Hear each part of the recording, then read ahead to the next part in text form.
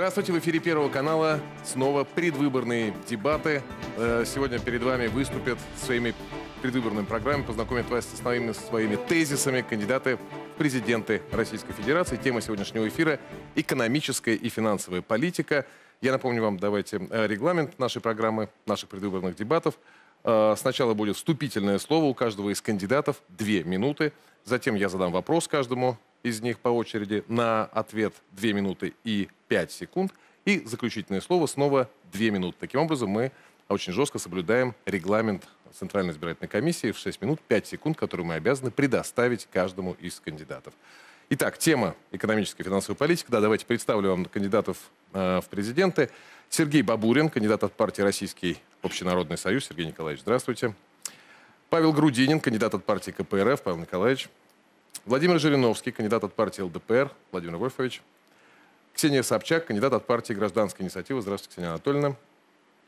Максим Сурайкин, кандидат от партии «Коммунисты России». Максим Александрович, здравствуйте. здравствуйте.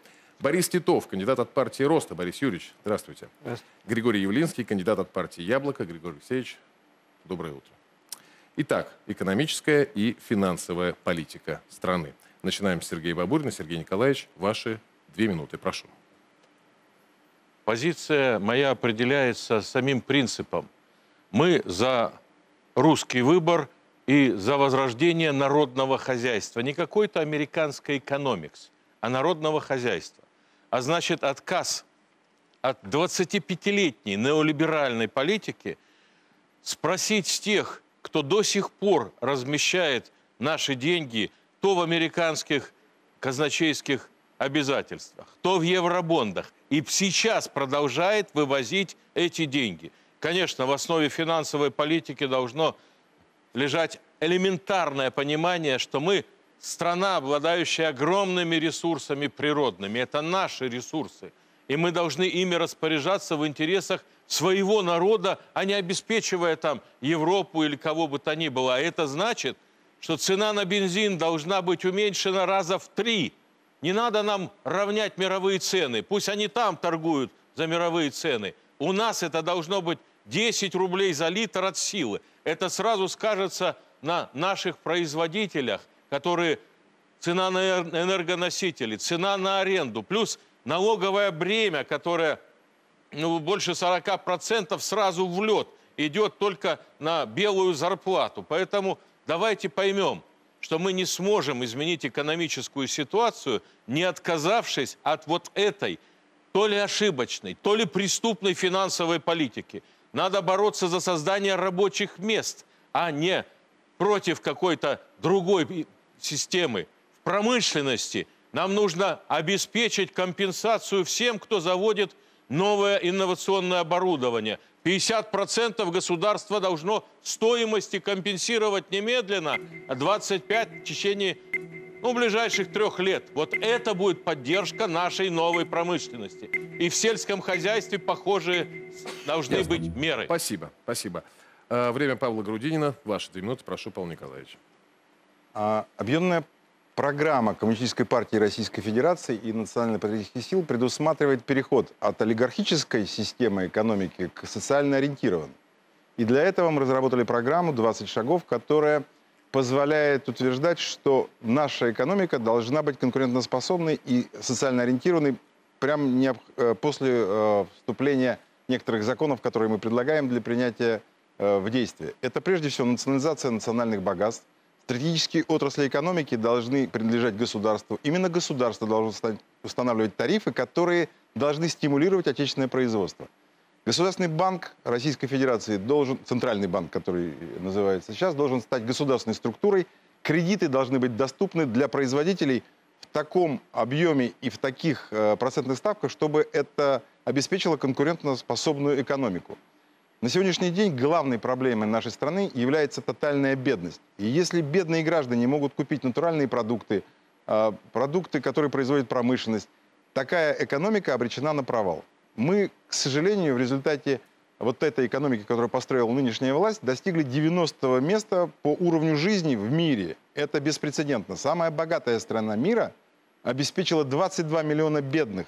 И это все последствия этой экономической политики. Мы предлагаем уменьшить налоги, сделать прогрессивную шкалу подоходного налога. Богатые должны платить больше, а бедные вообще не должны платить налогов.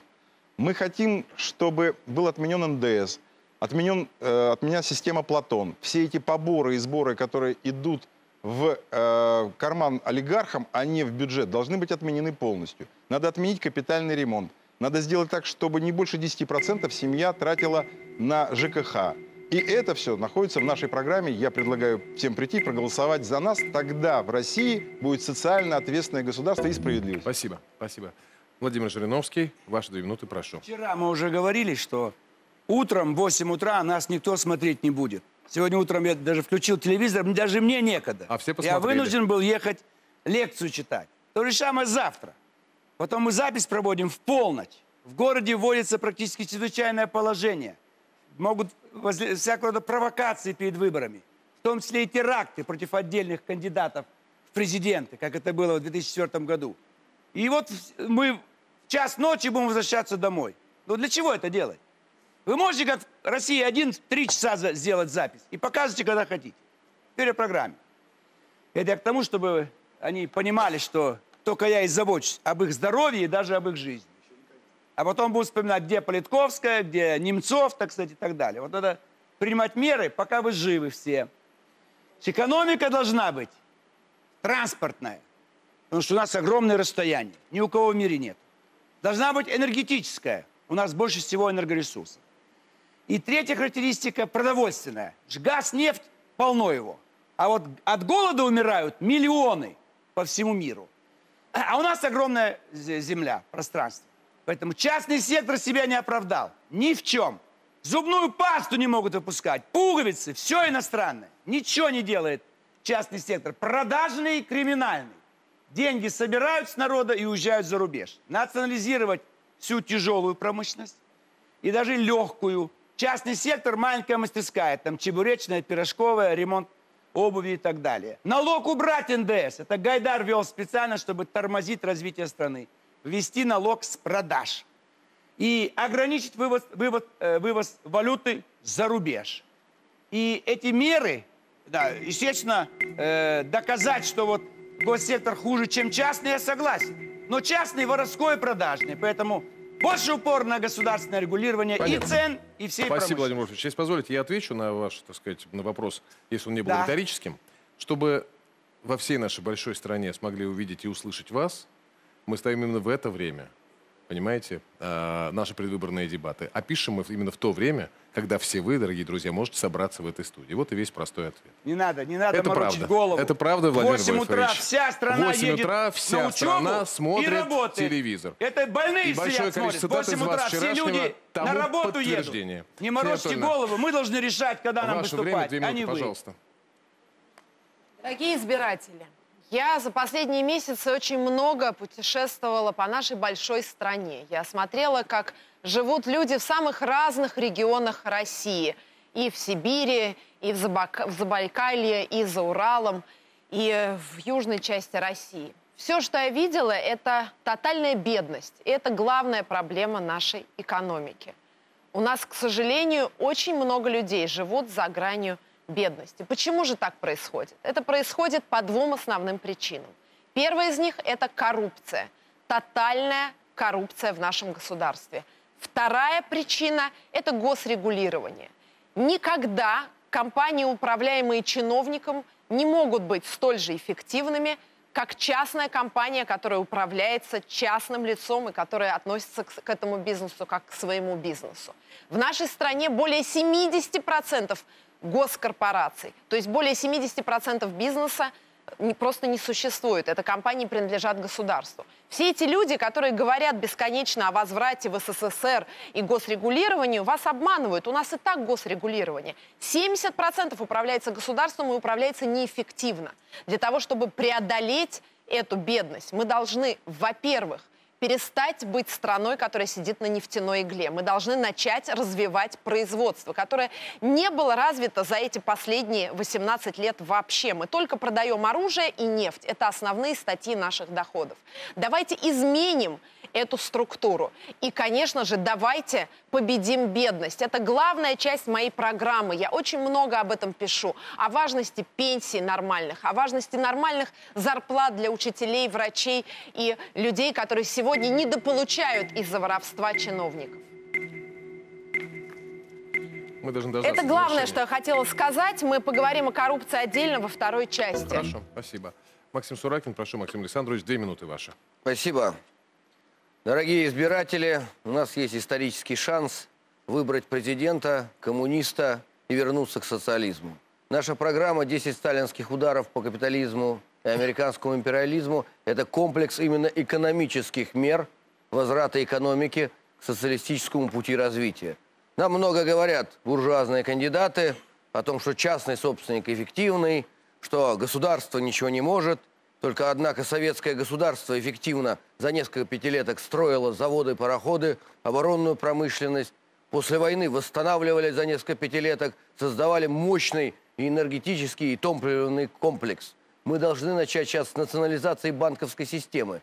Фактически это та петля, которая душит любую экономику. Мы сейчас видим, как банки грабят просто и предпринимателей, и государство, и простых людей. Они получают кредиты от ЦБ под 2%, а дают под 17, под 20, под 28. Какое развитие производства может быть в такой системе, когда рентабельность производства 15%, а банковский кредит 20%? Поэтому они одной рукой дают, а другой душат. И поэтому будут разоряться малые предприятия постоянно, потому что создана специально система угнетения и грабежа людей. Только Нацбанк, только единая государственная банковская система. Именно с этого начали большевики. Даже без кредитов, без кредитов под ноль, даже государственное производство не сможет развиваться. У нас есть хороший советский опыт. Если нам нужна энергетика, мы можем строить мощные атомные станции. Сейчас посмотрите, что происходит. Нам опять же говорят, частный сектор. Пойдите хоть маленький офис подключите. Да вас ограбят, потому что взяточница, потому что подключение к мощностям с каких-то пор стало стоить больших денег. У нас все есть. Если мы вернем это в собственность государства, мы построим сильную советскую экономику, где каждый будет получать достойный уровень зарплаты. Вперед, социализм! Спасибо. Далее Борис Титов, Борис Юрьевич, две минуты, пожалуйста. Меня зовут Борис Титов, и я иду на выборы президента для того, чтобы убедить, убедить страну, убедить людей, убедить бизнес, власть, что та старая экономическая программа, которая прежде всего базировалась на экспорте нефти, больше не работает. Вы посмотрите, 8 лет стагнации, уже 8 лет стагнации. За это время развивающиеся страны, кем мы в основном конкурируем, выросли на 55%. Мир в среднем, все страны, на 35%. Наша экономика за 8 лет всего на 6%. Даже из нефтяных экономик только Венесуэла была хуже нас, все остальные росли лучше. А, За это время мы потеряли, э, эта цифра очень большая, 10,8 миллионов рабочих мест. Это почти 10% от всех рабочих мест, которые у нас в стране на сегодняшний день есть. Поэтому, если дальше мы будем реализовывать эту политику, эту зависимость от нефти, то, конечно, нас ждет резкое снижение, ухудшение жизни. Это действительно бедность, это почти мы уйдем то, как мы жили в 90-е годы. Поэтому сегодня, да, и нас обгонят даже такие, Китай уже обогнал по уровню жизни, а нас обгонят такие страны, как Казахстан, Индия на уровне 25 года.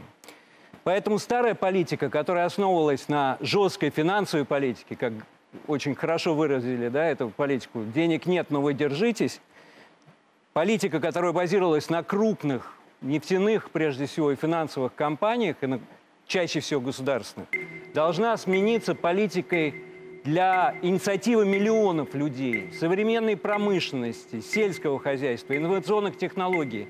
И для Всё, этого время. должны быть Прошу прощения, условия, время. которые я Две потом минуты, расскажу. Борис Юрьевич, извините. Григорий Явлинский, ваши две минуты, пожалуйста, Григорий Алексеевич. Да. говоря обо всем, что здесь мы слышали, вот э, вчера разговаривал с э, женщиной, бригадир смены на кондитерской фабрике. Э, семья, а муж э, техник в авиаотряде. Семья из четырех человек, двое детей. 30 тысяч общий доход семьи. Они квалифицированные люди, доход 30 тысяч. 7 тысяч семья платит за ЖКХ. Две с половиной тысячи рублей платит за детский сад. Полторы тысячи рублей платит за школу. Плюс еще капитальный ремонт. Посмотрите, что остается. Вся семья живет ниже уровня бедности. Предлагаю всем людям, семьи которых живут ниже уровня бедности, отменить подоходный налог. Второе. Огромные проблемы в депрессивных регионах, где люди получают 14 тысяч средняя зарплата в Калмыкии, 16 тысяч Псков. Да даже уму непостижимо в России в 21 веке люди получают столь низкий доход. Открываем счета, делаем базовый доход. Базовый доход для депрессивных регионов, для пенсионеров, бедных людей. Поднимаем тем самым внутренний спрос. Накопительные счета для людей старше 18, от рождения до 18 лет они накапливают, по крайней мере, суммы, с которой они могут начать жизнь. Я посчитал, до 18 лет собирается не очень большая сумма, как процент от продажи нефти и газа. Но миллион рублей можно собрать, и с этого можно начинать жизнь. Это только первые меры, которые необходимы для всего того, о чем здесь говорилось, о преодолении бедности. Спасибо, Григорий Алексеевич. Далее, в соответствии с регламентом, вопросы и ответы, на которые у каждого из кандидатов будет 2 минуты и 5 секунд ровно. Сергей Николаевич, давайте с вас начнем. Ну вот, э, вы говорили и про, так сказать, зависимость э, нефтяную, нашу экономическую, что является, так сказать, естественно, залогом плохого роста или стагнации, или даже падения и так далее. Ну, я хочу вам сказать, что на самом деле эта зависимость, она несколько преувеличена. Доля экспорта в последнее время, судя по статистике, доля экспорта сырьевого, она падает, а не сырьевого экспорта растет. Но это к слову. Какие конкретно меры, вы сказали в общем, какие конкретно меры вы будете предпринимать, чтобы сделать экономику, о чем вы говорили, сильной? На какие сферы экономические, по вашему мнению, надо сделать упор главный? Прошу, Ну, две минуты я и бы пять секунд. попросил вас не выступать в качестве доверенного лица отсутствующего кандидата Путина. Потому что не надо хвалить то, что есть. Нет, и прив- это статистика. Если мне нужно Это будет узнать статистика. цифры, я скажу об этом сам. Статистика, Значит, повторяю. второе. Самое главное. Сегодняшнее наше руководство экономической и финансовой политики лишило нас безопасности продовольственной. Идет полный саботаж решения президента Путина об импортозамещении. Где импортозамещение? Вы знаете, например, или у вас там где-то записано, что не так, 70% производства молока и производств принадлежит двум транснациональным корпорациям. Это Pepsi-Cola и Danone. И если они захотят перекрыть нам это производство, они могут это сделать по щелчку из Брюсселя. Кроме того, когда мы говорим, что у нас мы боремся за производство птицы, производство мяса, да, у нас строятся птицефабрики, да, у нас производится яйцо, но один маленький факт. Если в советскую эпоху у нас почти в каждом регионе были селекционные центры, сегодня мы завозим племенное яйцо из Голландии. У нас нет своего основ- основного уровня производства. Вот до чего дошло наше неолиберальное правительство. И если мы будем продолжать этот курс, это, это просто экономическое рабство. А банковское рабство уже стало реальностью. У нас сегодня банкиры взяли под контроль. Нам нужно пресечь эти безбожные проценты, которыми облагают и юридических лиц, и физических лиц. Нам нужно добиться, чтобы было 2-3% банковских кредитов э, можем платить. Иначе не будет развития никакого. Спасибо. Спасибо. А, Павел Николаевич, далее вам вопрос. Вот я э, очень внимательно изучил вашу программу, и в первом же пункте говорится о смене, о необходимости смены экономической стратегии. о том, что, говорится там, приоритетом станет благополучие широких народных масс, а не кучки олигархов. Интересы простого человека, а не рвачество жирных котов. А, Вы обещаете поставить, кроме того, богатство России, ее природные, промышленные, финансовые ресурсы на службу России, провести национализацию стратегически важных системообразующих отраслей промышленности, электроэнергетики, железных дорог, систем связи, ведущих банков и так далее. У меня простой вопрос в связи с этим. А будет ли национализировано в качестве природных, природного ресурса и богатства земли, например, вот в этой парадигме совхоза имени Ленина? Ну, во-первых, я должен И вам земля в принципе. сказать, что я единственный здесь, который построил модель, ну, благодаря в том числе и социальным а, программам, которые а, мы продвигаем по предложению Коммунистической партии Российской Федерации. И мы реально доказали, что даже в этих кислотных условиях для бизнеса, мой коллектив и я, можно развиваться и строить прекрасные школы, детские сады, направлять деньги не на э, свои нужды, а на нужды коллектива. Такие народные предприятия, э, которые поддержаны Коммунистической партией Российской Федерации, находятся по всей нашей стране. Их немного. И если бы государство их защищало от рейдеров, от э, власти, которая все время хочет э, взять взятку, а не помочь предприятиям, если бы она защищала от тарифных компаний, которые действительно берут огромные деньги за право подключения, если бы государство делало инвестиционно привлекательным э, любой бизнес в России, то, может быть, таких предприятий было бы много, и вся наша страна была такой же, как совхоз имени Ленина. И поэтому, если тут собрались практики, то я с этим не соглашусь. Практик тут только один. Это директор совхоза имени Ленина Грудинин Павел Николаевич. Что касается земли, то это ресурсы... Ну, слушайте, да, вы побольше, но потом не перебивайте, пожалуйста.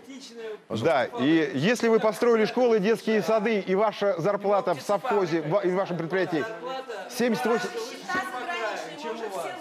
Так. Если Господа, вы будете меня перебивать, минуты, то это секунд, будет... Павел Но если говорить о том, о чем вы спросили, то земля – это народное достояние, это средство производства. Другое дело, что во всех странах мира, во многих странах мира, государственная земля, а в Китае, например, дают в аренду на 49 лет, это возможно. Но я считаю, что приватизировать или национализировать землю не надо, потому что вот эти четыре лозунга, которые говорил еще Ленин, власть советам, миру мир, земля крестьянам, а фабрики рабочим, это наш лозунг, который сто лет назад был актуален и актуален сейчас. По- Ясно, спасибо. Да. Борис Юрьевич, у вас будет ваши две минуты и пять секунд. Пожалуйста, воспользуйтесь ими как хотите. Владимир Вольфович, а, вы предлагаете вашу программу, я тоже изучил. Борис Юрьевич, две минуты пять секунд будут ваши через некоторое, очень скоро, через шесть минут, примерно. Владимир Вольфович, вы предлагаете очень много мер, которые э, ограничивают, так сказать, и замыкают российскую экономику, у вас много таких пунктов, исключительно на России. По вашему мнению, не приведет ли это к экономической изоляции? И если да, то нужно ли с ней бороться или нужно ею наслаждаться? Никакой Пожалуйста, ваше изоляции. время. Никакой изоляции. Но почему я говорю, что частный сектор хуже? Он хорош в мировом масштабе. У нас он не получился. Конечно, государство менее эффективно, но оно более честное. Мы зачем землю отдали в частные руки? Мы отдали землю в частные руки, и всю эту землю они не используют. Ничего не делают. Десятки миллионов газ стоит пустыми. Павел Николаевич, э, может быть, не договорил, я за него скажу. Успешное хозяйство только за счет одного. Сдача земли в аренду. Нашу землю сдают в аренду и огромные доходы. Но это подмосковная, самая дорогая в мире земля. Поэтому это можно делать. Это не противозаконно. Но нужно показывать, э, так сказать, смысл. Поэтому изоляции никакой не надо. Но мы должны обязательно. Вы понимаете, что я ведь говорю не просто так. У, у царя получился частный сектор? Нет. У советской власти его вообще не было, артели, кустари, одиночки. Сейчас, это не частный сектор. Э, Сегодня не получается. Почему я вам всем объясняю, всей стране? Если будет мощный частный сектор, я за него. Но его никогда не допустят. Да появится мощная другая политическая партия. И те, кто у власти, не смогут устоять у власти. А те, кто пришел к власти при Ельцине, они... Задача одна – удержать власть. Для этого частный сектор не нужен. Они его будут сметать. Это вы должны понять. Не надо людей наших держать за дураков. Это специально делается. Когда частник уезжает за границу. Деньги за границу. Но это судьба страны. Когда царь пошел на демократию и частный сектор, рухнула страна. Все начали раздирать ее на части. Советская власть разрешила частный сектор и демократию, рухнула страна.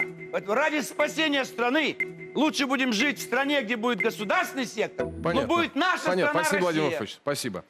Дали время Ксении Собчак. выводы. Если позволите вопрос. Вот вы говорите о том, что государство должно э, перестать контролировать экономику, только регулировать ее. Очень хочется услышать пояснение. Регулировать как, какими законами, в каких сферах, какими инструментами. Прошу, две минуты пять секунд. Я говорю об общем принципе. Сейчас речь вообще идет совершенно о другом. Сейчас государство контролирует вообще все. И оно это делает неэффективно. Чиновники, которые получают огромные зарплаты, Алексей Миллер 2,7 миллиона рублей в день. Зарплата главы Роснефти Сечина 2 миллиона рублей в день. За что эти люди получают такие зарплаты? Может быть, эти госкорпорации управляются очень какими-то продвинутыми профессионалами? Нет. Это дети чиновников и силовиков управляют этими госпредприятиями. Сын Бортникова в ВТБ, у нас сын Патрушева в Россельхозбанке. Вот кто управляет этими государственными компаниями. Вот в чем большая проблема нашей страны, вот в этой коррупции, с которой нужно бороться. Пока мы ее не победим, ничего не изменится. Конечно же, государство должно меньше регулировать экономику. Но мне приходится соглашаться с Владимиром Вольфовичем. Просто вывод он делает совершенно неправильный. Государство специально подавляет частный сектор. Потому что везде, где возникает частный бизнес, предпринимательство, везде возникает инициатива и либеральные ценности. Это факт. Потому что как только человек начинает управлять даже своим маленьким ларьком или своим маленьким заводиком, он начинает понимать, что надо брать ответственность на себя, надо э, иметь либеральный взгляд на вещи, надо быть за конкуренцию. Государству это невыгодно. Им выгодно иметь бюджетников, которых они кормят и поэтому могут диктовать, за кого голосовать. Им выгодно иметь разросшийся государственный сектор, чтобы контролировать все и не дать развиваться частной инициативе. Это специальное уничтожение любой предпринимательской активности в нашей стране. И это приведет к тому, что через 25 лет нефть закончится, и нам нечего будет продавать. И вы говорите неправду, вы врете. 70% на сегодняшний день, я хочу, чтобы мои избиратели это знали, это продажа нефти, угля и газа. 70% нашей экономики на этом держится и на продаже вооружения третьесортным странам. Спасибо. Все. Никакой Спасибо, другой спасибо, что делите страны на, на сортах, промышленности Ксения Анатольевна. Большое нет. спасибо, время ваше истекло. А что касается вы врете, уважаемый Минэкономразвития, вот только что Ксения Анатольевна Собчак передала вам привет. А, Далее Максим Сурайкин, ваши две минуты и пять секунд. И, кстати, вот я э, задал этот вопрос Владимиру Жириновскому, вам задам его э, как бы еще, еще жестче, потому что у вас все гораздо радикальнее описано. Вот э, по поводу изоляционизма российской экономики, у вас даже недвусмысленно и многократно это повторяется.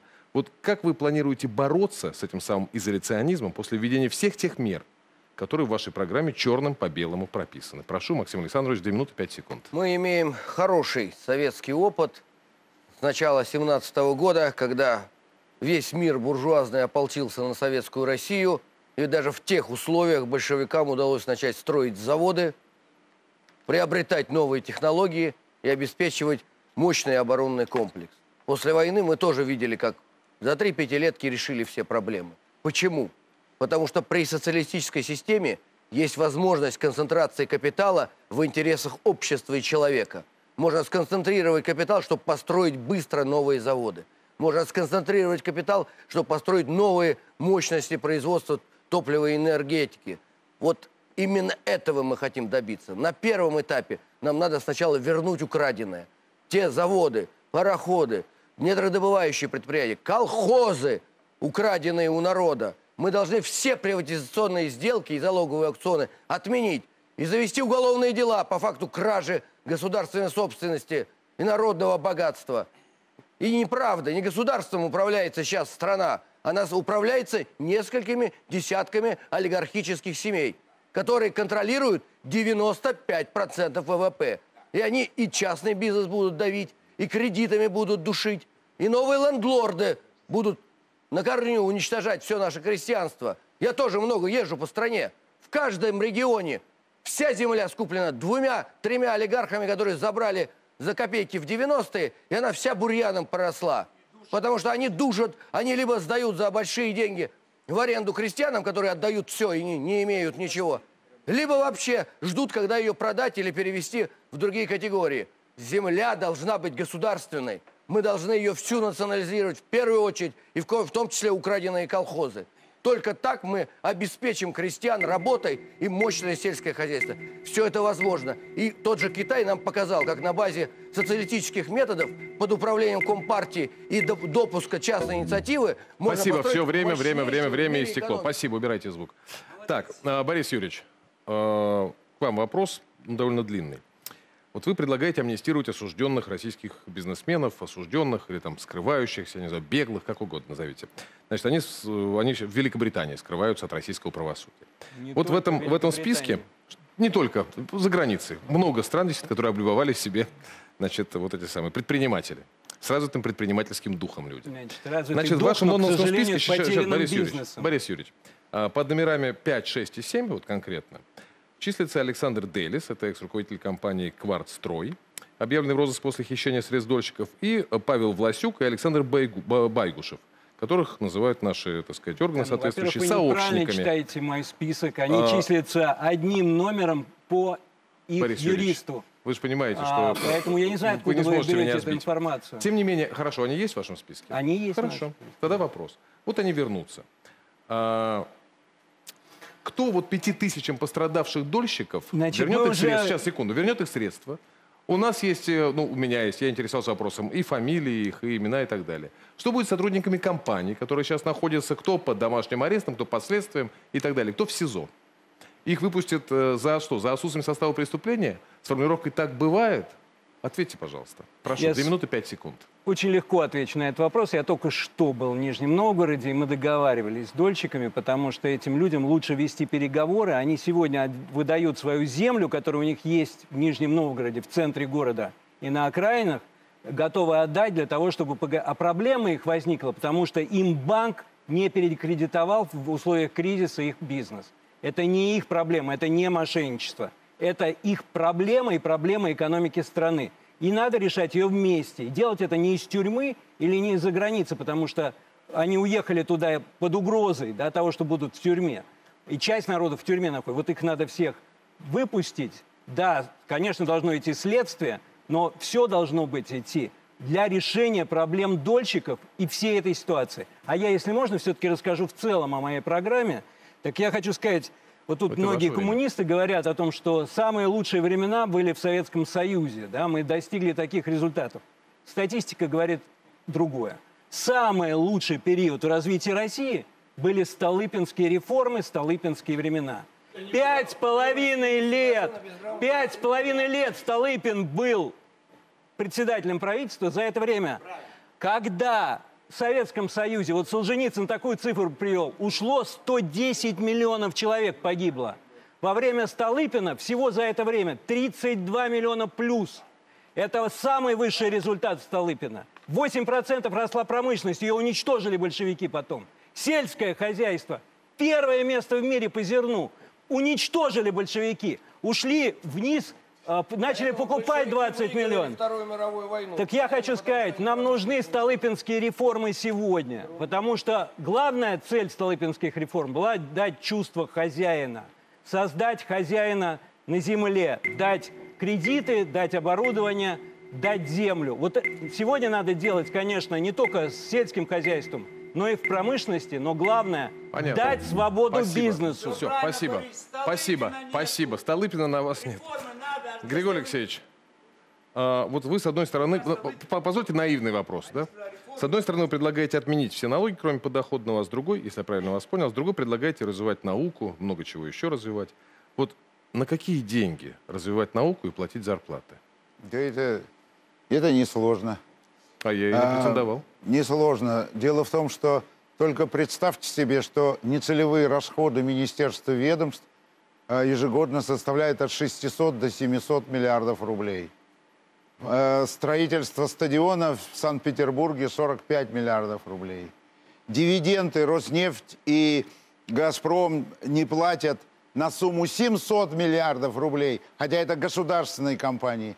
И так далее до бесконечности. Вернемся к сути дела. Я хочу сказать, а как же сегодня проводить вот ту политику, которая обеспечит экономический рост и внутренний спрос. Уже 10 лет я разрабатываю программу, которая называется «Дома, земля, дороги». Это программа появления в России собственника собственного жилья на собственной земле. Это чрезвычайно важная программа, потому что она создает у людей ощущение, что у них есть своя земля, скажем, 30 соток можно получить бесплатно в европейской части, 60 соток за Урал для того, чтобы построить собственный дом для собственной семьи, а всю инфраструктуру, дороги, газоснабжение, электроэнергию, водоснабжение может и должно обеспечить государство за счет нефтяных, газовых и оружейных доходов, о которых здесь шла речь. Это 1,8 миллиарда квадратных метров земля, э, э, э, квадратных метров жилья. Такая программа в ближайшие 6 лет – будет стоить дорого, 13 триллионов рублей. Но имея оружейную программу на 22 триллиона, мы можем поделиться и можем легко двигаться в этом направлении. Вторым направлением для создания стимулов для развития является выравнивание регионов за счет более справедливого распределения средств из федерального бюджета. Спасибо, Григорий Алексеевич.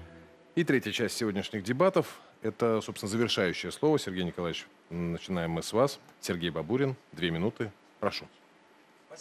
Уважаемые избиратели, вы знаете, мне уже надоело, как и вам, наверное, слышать сегодня, в 21 веке, что во всем виновата советская власть. Вот те цифры, в которых господин Титов путался, надо было бы дополнить, что с 1937 года по 1987 численность населения Российской Федерации возросла на 90 миллионов человек за 50 лет. А с 91 по сегодняшний день численность населения со 150 миллионов упала до 142. Вот результаты либерального управления Россией. Хватит обвинять большевиков и советскую власть. Давайте поймем, что когда мы говорим о выходе из кризиса. Я больше всего не люблю слов бездумной национализации. Что, государство возьмет в собственность? Да Советский Союз погиб из-за того, что государство было собственником всего, а значит, хозяевами была партийная номенклатура. И эта партийная номенклатура захотела по наследству передавать эту собственность и пошло на уничтожение Советского Союза – Именно поэтому детки, внуки и прочие сейчас этой номенклатуры сидят во всех хлебных местах. Мы должны сделать все, чтобы собственность принадлежала народу, не государству. Государство – механизм. Люди должны владеть собственностью. Нам пора перестроить вот эти многоэтажные, перестать строить дома. У нас что? У нас человек должен жить на земле – бесплатно выделять землю под жилищное строительство. И молодой семье деньги на строительство, родился следующий ребенок, первый, второй, третий, вплоть до полного государственного погашения стоимости жилья. Спасибо. Вот тогда Спасибо. Спасибо, будет Сергей успех. Николаевич. Простите, время.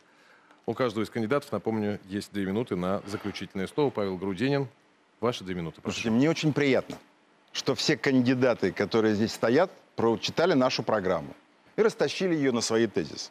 Но я хотел к вам обратиться. Пожалуйста. Я могу вам сказать только одно. Вот то, что сейчас здесь происходит, это не дебаты. Это базар, это какие-то крики с места. Дебаты – это когда ты споришь с э, соперником. Здесь вопросы и ответы – это интервью. И зачем мы по часу стоим здесь, хотя у нас только 6 минут, необъяснимо никому. Вы получили от нас письмо. Ну, я имею в виду не вас, а руководство которая предложила, мы предложили вам сделать все по-другому. Вы игнорируете это все. Центральная избирательная комиссия и центральные каналы не хотят, чтобы мы спорили один на один, взяли, сделали из этих вот так называемых дебатов шоу и занимаетесь только одним, тем, что а, портите отношение к президентским выборам. Вы сносите вообще понятие президентских выборов. Я не собираюсь в этом участвовать больше, потому что именно вы делаете так, чтобы люди не пришли на выборы потому что это балаган. Если вы собираетесь что-то изменить в этой ситуации, вы должны тогда принять наше предложение, сделать дебаты, а не вот это вот выстраивание всех и ваше интервью. Причем вы абсолютно уверенно, я вам говорю, что вы фальсифицируете статистические данные. Россия находится в ужасном финансовом положении. У нас идет стагнация уже не один год. И дело даже не в санкциях, а в том, что именно власть сделала так, чтобы наша экономика была неконкурентоспособной. Правительство Российской Федерации давно должно выгнано быть президентом. Но до сих пор вот этот принцип, что плохие, но наши, свои, поэтому я считаю, что эти дебаты не имеют права на жизнь. И поэтому я покидаю эту студию, потому что именно вы делаете так, чтобы люди не хотели приходить на президентские выборы. Спасибо вам большое. Ну, может, мне дадите возможность ответить, Павел Николаевич? Отвечайте. А, хорошо. Нет, мы так не делим. Ну, давайте. А, коль уж Павел Николаевич это сказал, позвольте, я отвечу. Владимир Ильич, позвольте, я отвечу. Первое, значит, А, первое. Значит, никакими э, данными, никакие данные я, конечно, не фальсифицирую, даже ими не оперирую. Все, те, те данные, которые я приводил, вот те ск- скромно, это все были официальные данные Минэкономразвития, с которыми очень легко ознакомиться, да? Вот, это легко. Это легко, поэтому послушайте. Поэтому вот эти слова, и, э, так сказать, вы врете, они не имеют никаких оснований. Э, вот. Но против суд мы обращаться не будем. Далее, значит, что касается дебатов и их регламента. Значит, они проводятся в строжайшем соответствии с законом, за который все вы, уважаемые кандидаты в президенты Российской Федерации, так ратуете. В строжайшем соответствии с законом. Это правда. Владимир Вольфович, ваши две минуты. Пожалуйста. Владимир Вольфович, ваше время пошло. Все, подождите, чё- остановите часы. Хорошо, Она говорит, остановите а часы, часы заплатите идут. за. Хорошо. Так, Хорошо. остановите часы. Хорошо. Давайте Хорошо. начинаем. Я готов уже Хорошо. начать. Готовы? Давайте, две минуты, да. Внимание. Две минуты Владимир Вольфович Жириновского. Пусть вернут, 2.00. Сейчас вернут. Пожалуйста, Владимир Вольфович. Я? Так, две минуты верните, Да. пожалуйста. Все, я, да, верните. Что они все, 7 минут украли Секунд, да. Владимир 2.00 Секунд. поставьте. Секунд. И я тут же начинаю сейчас. Все, поехали. Вот все. То есть я еще раз хочу сказать. Действительно, вам не нравятся такого рода дебаты. Но они сделаны так, чтобы никто из вас не мог победить. Ну, специально же сделано. Чего же вы друг на друга злитесь? Друг друга оскорбляете. Кто-то хамит, кого-то там бредовые идеи. Грудинин взял, ушел. Вы, мы должны что сделать? Должны, я обращаюсь к избирателям, изберите меня. Я силовым методом изменю ситуацию в стране. Я их всех накажу, и олигархов, и всех, кто ворует. Я верну все деньги за границу. В условиях демократии это невозможно. Я веду самую жесткую диктатуру. Потом, когда все успокоится, когда мы станем богатой страной, мы создадим две мощных партии, равновеликих, как в Америке. И каждый раз разные кандидаты от этих партий будут президентами. Или вообще уберем пост президента. Будет парламент и будет парламентская республика. Но сегодня, что вы друг на друга нападаете? У одного фабрика птичья, у другого клубничка, третий что-то еще. Вы ни в чем не виноваты. Вам никто не позволит создать мощный частный сектор. Вам никто не позволит по-другому проводить дебаты. Царская Россия была монархия. Красная Россия была монархия. И сегодняшняя демократическая Россия – монархия. Это судьба России. Можете понять? Она не может существовать вне рамок монархического режима. Когда все решает один. Вот он там сидит уже 1155 лет. А вы пришли 7 человек, а мы тут поломаем все. А за вами 1155 лет. Это ваше желание мне понятно, но вывод только один. Я должен заменить Путина, другого пути нет. Тогда я все сделаю. Он не может. Почему? Его окружили все коррупционеры, олигархи. Он боится, в любой момент они переворот совершат. Нужна диктатура, чтобы их арестовать. Утром всех арестовать. Тогда никакой Спасибо. переворота не будет. А вы говорите, я ут- это обеспечу. а вы За говорите, меня, утро- За Жириновского. Все, все, все, Владимир все, время, время вышло. А еще будет? Нет, сегодня нет, завтра Плохо. будет. А вы говорите, утро плохое время. Видите, оно оказывается лучше. Ксения Анатольевна, пожалуйста, ваше заключительное слово. Значит, у нас как бы выборы в стране, дорогие друзья, и у нас как бы дебаты. Мы видим, что действительно государство выделило нам время, и мы имеем право распоряжаться этим временем так, как нам кажется правильным. Мы хотим дебатировать друг с другом. Нам не дают этой возможности. И более того, ведущий высказывает свои личные мнения, ссылается на какую-то несуществующую статистику. 70% о которых говорила я, это официальные данные по тому, что на сегодняшний момент мы, как Россия, экспортируют. На это ведущий высказывает свои мнения. Вы правда считаете, что это похоже на реальные дебаты? Это та же пропаганда, которой этот ведущий и так занимается все свое рабочее время. Я против этого. Я призываю вас проголосовать на этих как бы выборах за кандидата против всех. Против всех этих людей, которые изображают из себя оппозицию. Против Путина, который сейчас находится у власти. Проголосуйте за кандидата против всех, проголосуйте против всей той несправедливости, которую мы наблюдаем каждый день в нашей стране. И только тогда мы сможем показать всем этим людям, как же они нам надоели, как же мы хотим изменений в стране, как же мы хотим реально конкурентных выборов, где все смогут спорить друг с другом, высказывать свои позиции, где ведущий не будет навязывать какие-то цифры, которые ему подсказали, что их правильно произвести в эфире. Давайте стремиться к свободной, честной России со свободными, честными выборами, которых сегодня в нашей стране нет нету. Именно для этого я пошла на них, чтобы говорить с вами, дорогие телезрители, чтобы вам не вешали лапшу на уши. И несмотря на то, что никто из нас не выиграет, я хочу, чтобы вы знали, что в стране есть честные и порядочные люди, которые готовы отстаивать ваши интересы. Давайте покажем, что нас много и что мы не боимся. Проголосуйте на этих выборах против всех. Значит, за Ксению Собчак. Спасибо. Да, время вышло. Все, все, все, все, все, господа, господа, у нас время ограничено, да? А, так, внимание, друзья. Борис Юрьевич, у вас будет время, прошу вас. Мне неожиданно было много уделено внимания выступлению Ксении Собчак, тогда отвечу еще раз, 15-й, может быть, для слабослышащих на этот раз. Это были не мои мысли, не мое мнение, а официальное, внимание, статистика. Вот. А, более того, Ксения Анатольевна, я как раз отношусь к тем ведущим, которым не подсказывают, которые умеют читать и сами пишут себе то, что Я они говорят. Понимаете, в чем дело? Не знаю. сама. Не знаю. Я пишу все А, сама, Максим а Александрович, вы прошу ваши две минуты. перебивая кандидатов. Нет, мне не нужен клоунский нос, достаточно одной клоунессы, правда, в студии, Ксения Нет, клоун Спасибо. здесь это Максим. Александрович, вы прошу две уже минуты. проявили на прошлом нашем Две эфире. минуты, прошу, а ваши. образом Не отнимайте время у своих коллег. Вы знаете, Прошу у нас вас. так разговаривают кандидаты, так разговаривают Ксения с ведущими. Вы не я начал этот разговор, прошу вас. Что таким не отнимайте время у Максима? Сурайкина, прошу вас. Значит, Максим Александрович, ваши, Дорогие товарищи, ваши Я две минуты. Сурайкин Максим, ну, единственный коммунист, единственный коммунист-кандидат в президенты. Наша программа «10 сталинских ударов» – это возврат к социализму. Это возврат всей украденной собственности. Это настоящая экономика в интересах человека. Мы арестуем олигархов, мы выпотрошим их полностью и вернем все украденное на родину.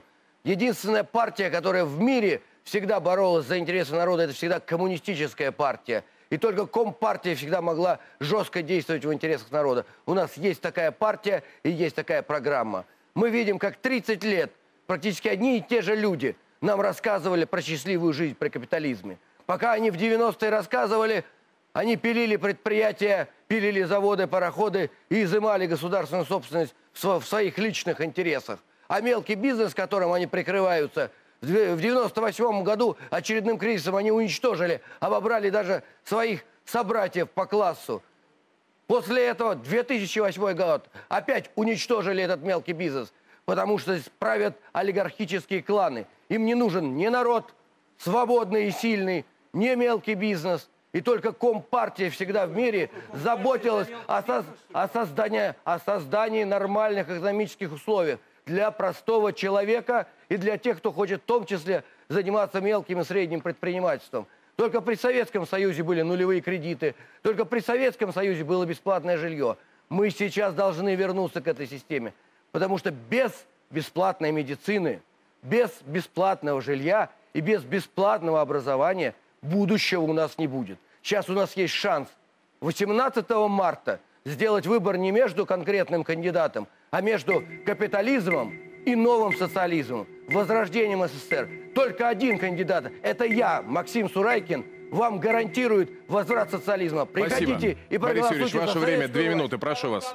Две минуты, пожалуйста. Звук только Я у хочу Титова. сказать, один очень умный человек а, сказал следующую фразу. Главный недостаток капитализма – неравное распределение благ, к сожалению. Но главный недостаток социализма – равное распределение лишений. Вот что такое социализм. А у нас есть план, как ре- преобразовать экономику России. Она называется «Стратегия роста», подготовленная Столыпинским клубом.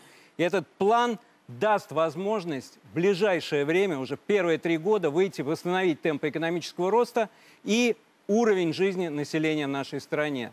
Главный лозунг этого плана э, работающие люди не должны жить бедно, они должны жить богато. 25 миллионов высокопроизводительных рабочих мест, да значит и хорошо оплачиваемых, должны быть созданы в результате этого плана. За счет чего? Ставка ЦБ вниз, свобода, да, э, кредиты, которые должны и для населения, и для бизнеса стать конкурентами по отношению к другим странам. Ипотека, которая должна двинуть вперед стройку.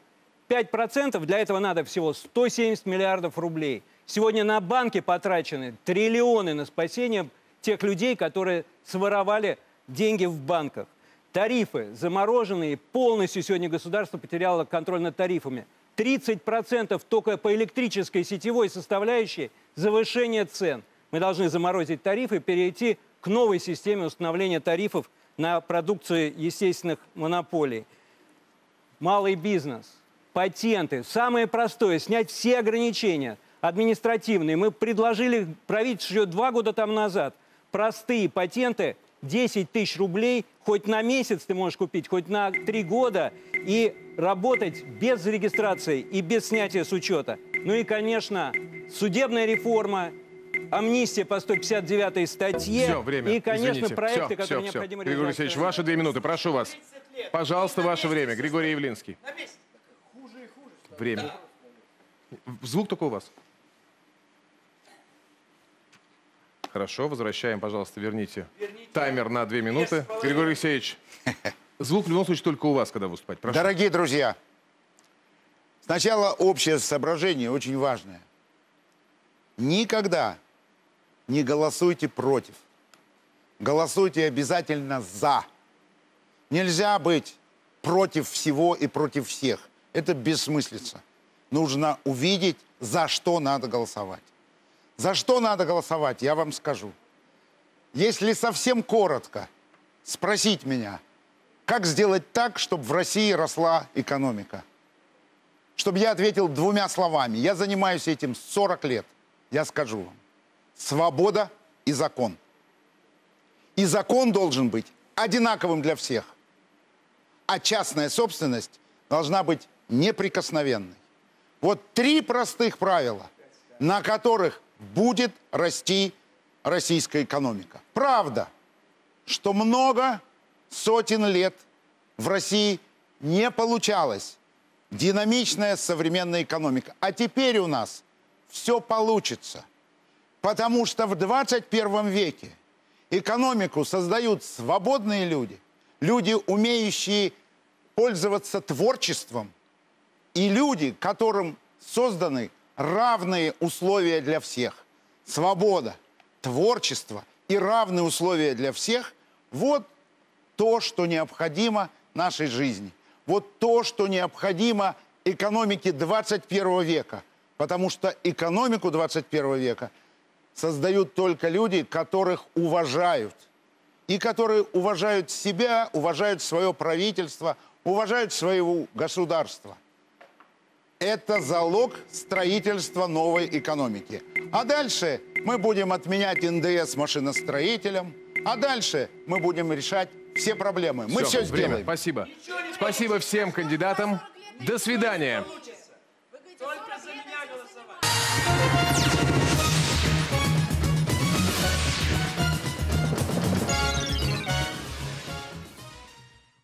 Ежегодное послание президента Российской Федерации